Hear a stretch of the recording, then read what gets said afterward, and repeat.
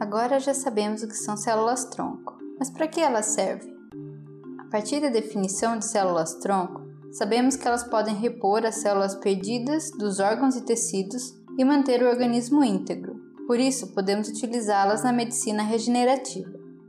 Um procedimento bastante conhecido é o transplante de medula, que substituirá uma medula danificada por células-tronco saudáveis de uma medula que pode ser do próprio paciente ou vinda de doador compatível. Essas novas células são aquelas capazes de se diferenciar nos diferentes tipos celulares do sangue. O nascimento do transplante de medula óssea aconteceu por volta de 1950, quando estudava-se os efeitos da radiação e as formas de revertê-los. Verificou-se que ao injetar o conteúdo da medula óssea de um camundongo saudável em um outro camundongo que recebeu radiação, fazia com que este animal, com a medula óssea destruída pela radiação, se recuperasse. O primeiro transplante de medula bem sucedido foi feito em 1968.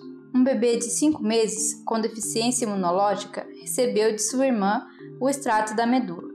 O procedimento foi realizado antes mesmo se saber que eram as células tronco hematopoéticas que estavam fazendo todo o trabalho. Hoje, este procedimento é realizado em casos de câncer como leucemia e também em doenças que afetam a produção de células da medula, como a anemia falciforme. Outra possibilidade de uso das células-tronco na medicina regenerativa é a injeção das células em regiões lesadas de órgãos, como o coração, para se obter a regeneração daquela porção danificada por um ataque cardíaco, por exemplo. Neste caso, estuda-se o uso de células-tronco encontradas no próprio coração ou ainda células-tronco IPS que se diferenciarão em células do músculo cardíaco.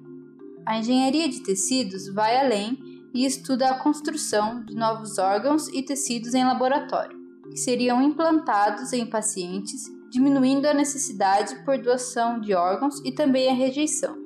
Esses órgãos ainda poderiam servir para testes de novos medicamentos diminuindo a necessidade de testes em animais e também tornando os resultados mais confiáveis, pois se trata de células humanas e não de outras espécies. Para a produção de órgãos, se faz necessário um molde, feito de algum material biológico, como colágeno ou algum material biodegradável. Esse molde servirá de suporte para células que funcionarão como sementes. As células serão colocadas sobre o molde e irão preencher os espaços, formando uma estrutura 3D feita de células. Os órgãos têm uma morfologia bastante complexa e diversos tipos celulares, por isso sua produção em laboratório ainda exige muito estudo e pesquisa.